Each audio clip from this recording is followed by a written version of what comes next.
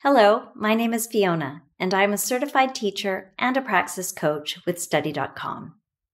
If you are preparing to take the Praxis Social Studies Content Knowledge Government, Civics, and Political Science Test 5081, then let's review some of the types of questions you may encounter on the exam. Let's jump right in. Devolution is the basis of which form of federalism?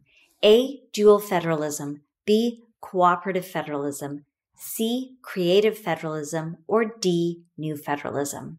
Let's begin by defining the two terms in the question.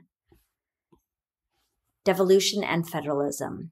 Devolution, that is the delegation of power to a lower level, most commonly from national to regional government. Federalism, this is the division of power between the individual territories and the federal government. So now we're going to look at each form of federalism. Dual federalism. This is where power is divided between the various levels of government in specified terms. Cooperative federalism. This is when different levels of power cooperate in policymaking. Creative federalism. This was the structure used during the 1960s and 1970s in the United States. The main characteristic being the federal government dictates their priorities to regional governments and then funds them to implement policies. Lastly, we have new federalism. This is the political philosophy of devolution, the shift of certain powers from the federal government to the state government. So this answers our question clearly. D, new federalism. Which of the following forms of government exercise authority over every aspect of life, use terror to force people to follow their orders, and have a specific ideology? A. Autocracy. B. Totalitarian. C. Monarchy. Or D. Democracy. Let's define each. Autocracy. In this system, one person rules, controls all decision making with little or no input from others, and creates structured and rigid conditions for the people. Totalitarianism. This type of regime asserts control over all aspects of citizens' lives through force, oppression, and intimidation. Monarchy. With a monarchy, the head of state is a king or queen, and sometimes there are other titles. With the passing of the monarch, a relative will assume power, and therefore the system is hereditary. Democracy. Some key aspects include the respect for basic human rights, for rule of law, free and fair elections, and citizen participation. So, based on this information, we can rule out democracy, monarchy, and autocracy, and our answer is totalitarian. Which of the following is an example of an advantage gained by having a unitary system? A. More room for policy innovation is present. B. Acting in an emergency is easier. C. Less legislation is necessary. Or D. Ethnic, cultural, and economic needs are easier to accommodate. Let's begin by defining unitary system. This political structure is one with one level of authority.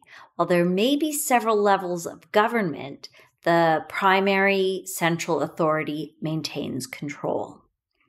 All right, now let's look at our options. More room for policy innovation is present. Not the case. Because local government lacked the authority to innovate at a grassroots level, and the centralized government is unlikely to do so. All right, I'm going to skip. Less legislation is necessary. Again, not the case. Legislation is necessary in both federal and unitary systems of government for the purposes of maintaining organization within the society and protecting its citizens. Ethnic, cultural, and economic needs are easier to accommodate. Again, no, this isn't the case. It is difficult for local government to effect change that may be required specifically in their region due to this lack of any real authority. All right, acting in an emergency is easier.